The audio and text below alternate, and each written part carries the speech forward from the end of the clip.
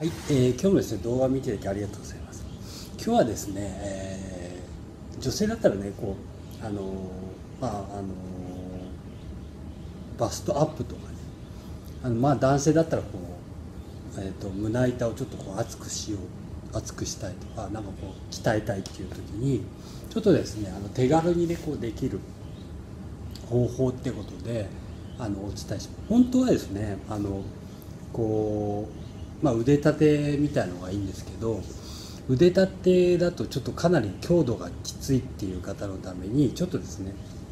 あの、まあ、女性だとね特にこうあの胸板をね胸板っていうか、まあ、胸をちょっと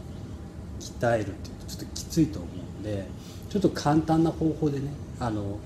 すごい自分の強度に合わせてやってもらいたいですけどまず手をねこうぐーっとこ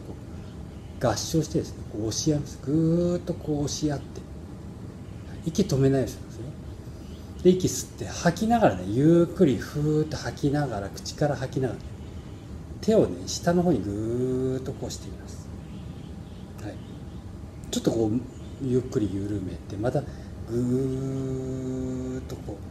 うしてみてください。ちょっと胸をねこう鍛えます。ゆっくりでぐー息吐きながらはい下。で息吸って元に。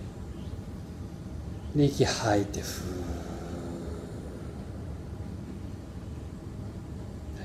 ー、でゆっくり戻ります。で今度はね息吸ってゆっくり、はい、で手を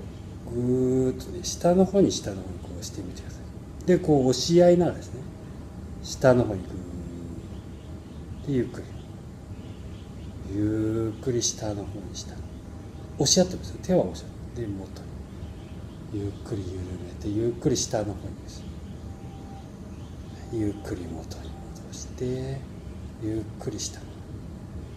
でゆっくり戻でゆっくり元に戻して今度はですねゆっくり右の方に向いて同じことやるんですよ。手を下までゆっくり。元に戻して。息止めないようにしますね。うんでゆっくり戻るゆっくり下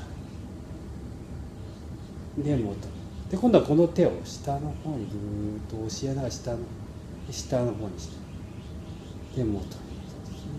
す下。の方にして息止めないようにしますね元に戻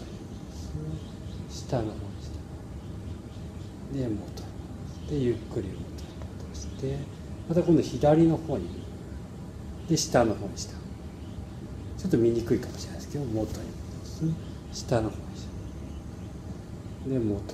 す下の方にで元にで今度はこの手をゆっくり下にしてこのままぐーっと下で元に戻す押し合ってますから手と手を押す